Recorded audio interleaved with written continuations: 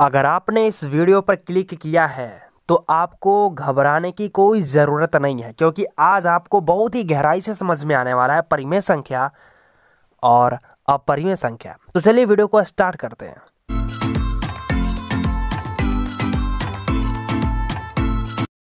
Guys, सबसे पहले जानते हैं हम परिमेय संख्या। तो गाइज़, यहाँ पर आपको दिख रहा होगा परिमेय संख्या, जिसे इंग्लिश में कहते हैं रेशनल नंबर्स ओके, मैंने लिख रखा है कि वैसी संख्या जो p बटा क्यू के रूप में लिखा जाता हो। लेकिन q का मान ज़ीरो नहीं होना चाहिए।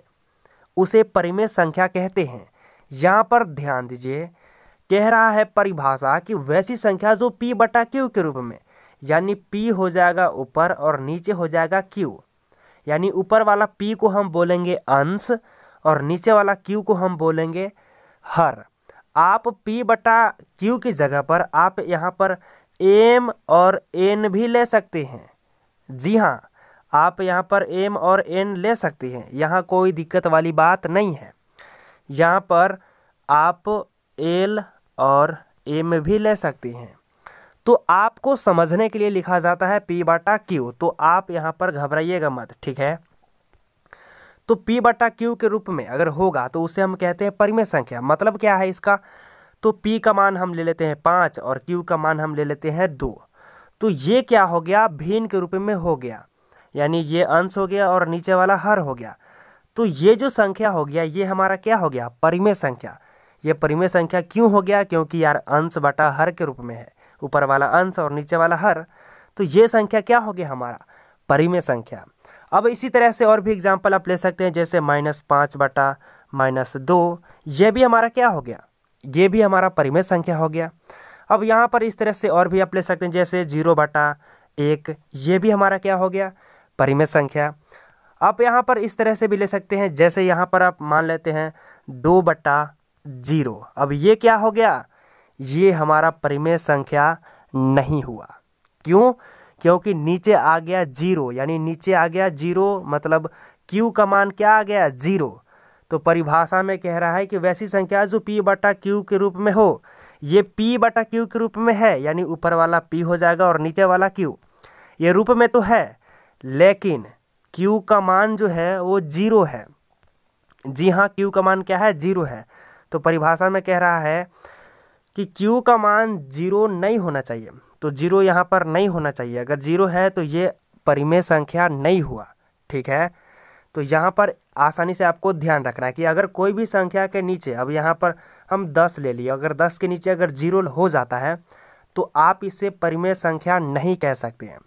लेकिन अगर केवल और केवल दस है तो आप इसे कह सकते हैं कि ये क्या है? परिमेय संख्या कैसे? क्योंकि इसके नीचे भी एक छुपा हुआ है तो ये भी हमारा क्या हो गया?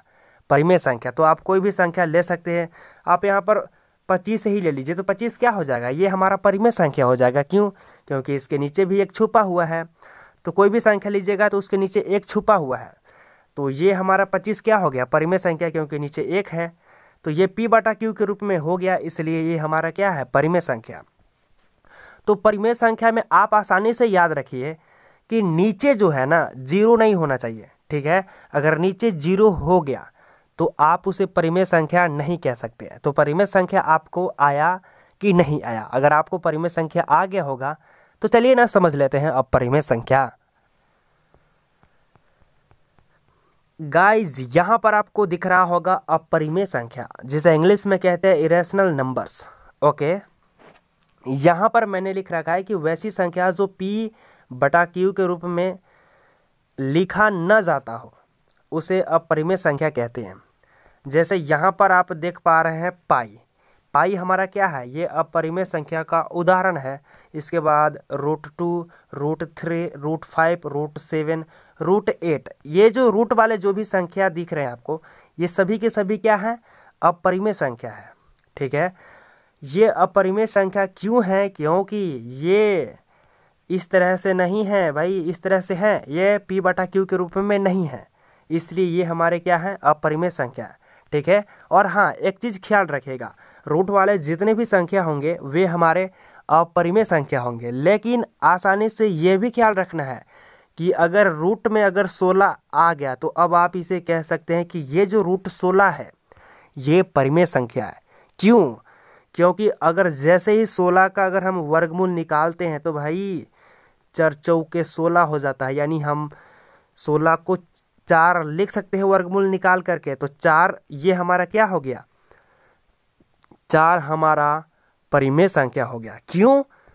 क्योंकि चार के नीचे एक छुपा हुआ है, ठीक है? तो इस तरह से आप समझ सकते हैं। जिसका अगर पूरा पूरा वर्गमूल निकल गया तो आप उसे कह सकते हैं परिमेय संख्या। और जिसका नहीं निकला रूट में तो जिसका जो रूट वाला होगा और उसका वर्गमूल नहीं निकलेगा पूरा पूरा तो आप उसे अपरिमेय संख्या कह सकते हैं।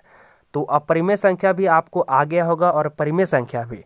आई होप ये वीडियो आपको यूजफुल लगा होगा। अगर आपको वीडियो से कुछ भी समझ में आ गया होगा तो आप इस वीडियो के लिए लाइक कर दीजिएगा और मिलते हैं अगले वीडियो में। तब तक के लिए जय हिंद, जय भारत।